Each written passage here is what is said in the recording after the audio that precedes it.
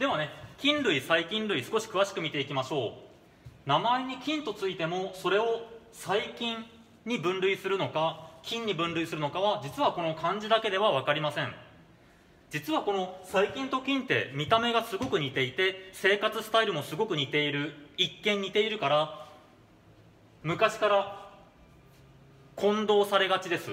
だけど全然 DNA の塩基配列的には遠い生物たちです。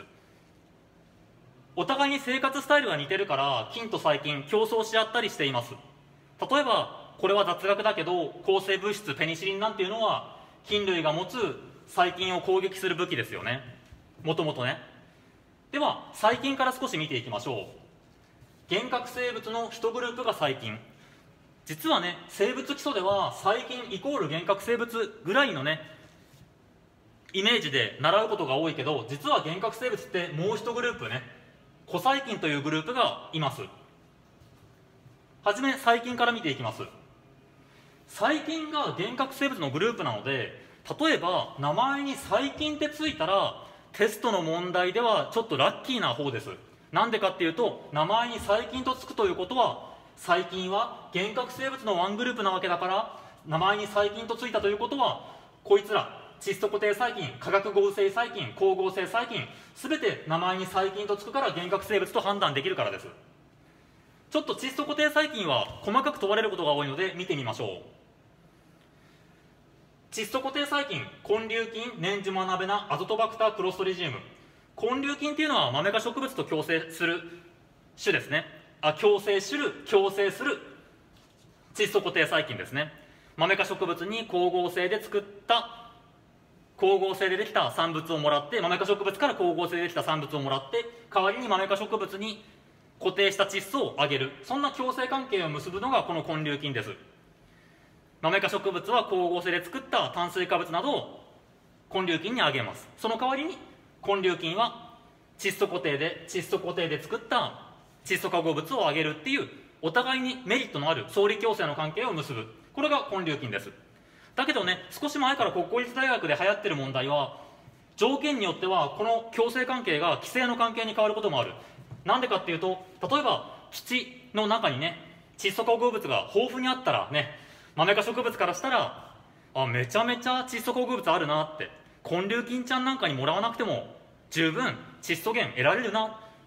でも根粒菌からしたらいやいや光合成産物よこせよ、ね、えー、光合成産物あげたくないなって。なんでこれ揚げ損じゃんって。だって周りに全然窒素化合物あるのにって。根粒菌ちゃんに窒素固定してもらわなくても全然俺生きていけるよってなったらそれ規制の関係になっちゃう。根粒菌が豆科植物に規制するっていう関係になっちゃう。こういったふうに条件によってはこの共生関係が崩れることもあるからまあ難関大目指し難関大学を目指す人は注意。年次もアナベナはこれシアノバクテリアの仲間ですね。あシアノバクテリア。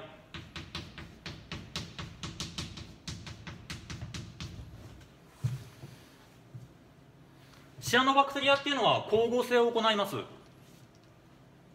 年次もアナベナ光合成も行えるし窒素固定も行えるってことで、まあ、地球上でねあの最も独立栄養性の高い独立栄養的な生物だって呼ばれることもあります。アゾトバクタークロストリジウムは土の中とかにいる細菌。アゾトバクターは好気性クロストリジウムは嫌気性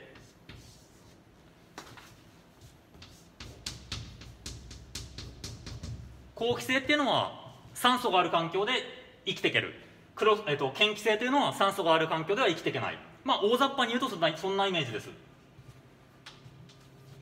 あもう嫌気性の中にもね程度はあるんだけど好気性にも程度はあるんだけどでこれらが窒素固定細菌ですこの窒素固定に使う酵素をニトロゲナーゼっていうんだけどニトロゲナーゼっていう酵素は酸素に弱いですだから年ジモとかアナベラなんていうのは酸素が入ってこないような特別な細胞を用意してそこで窒素固定を行っていたりアゾトバクターなんていう好気性環境が好きな生物はガンガン呼吸して酸素をガンガン消費してあんまり酸素にあんまり酸素がニトロゲナーゼに触れないようにしたりそれぞれいろいろな工夫をしてます。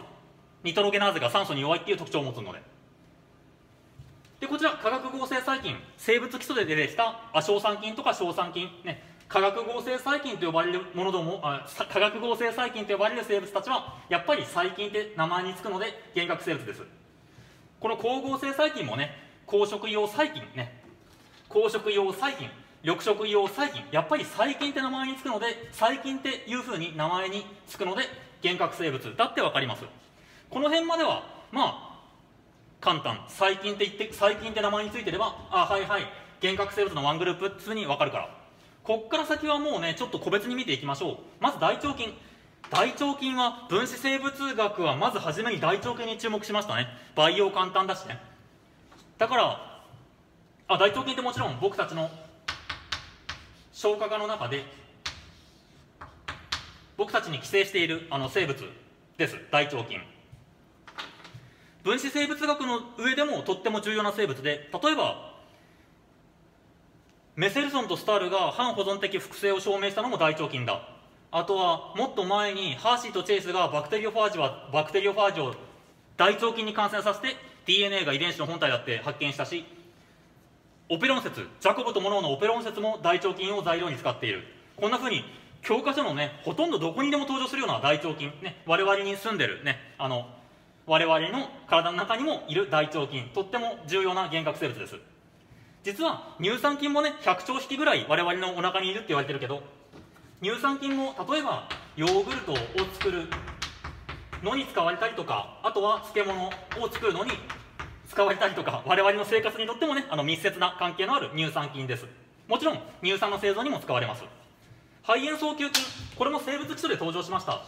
グリフィスっていうお医者さんが形質転換を発見したのはこの肺炎早球菌です。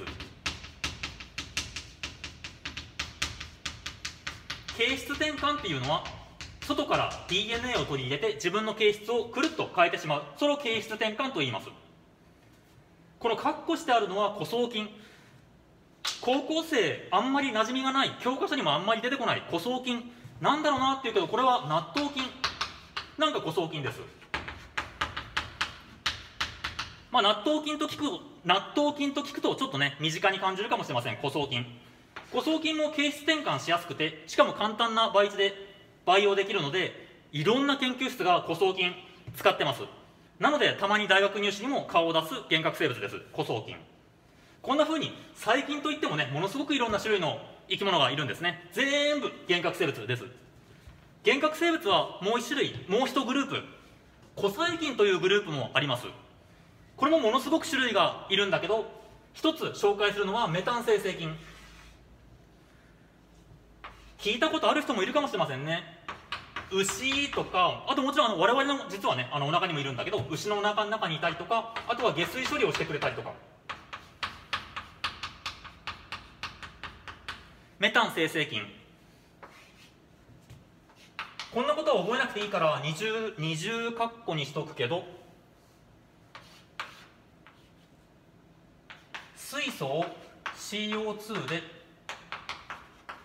酸化してメタンを生成してます。この反応で実はメタン生成菌水素を二酸化炭素で酸化することでメタンが生成する。そしてこの反応で ATP を合成してます。実は今ではこれ二酸化炭素呼吸って言われます。昔はメタン発酵って呼ばれてたけどこの反応で ATP ができる反応は ATP 合成酵素が関わる関わるので今では二酸化炭素呼吸なんて言ったりします。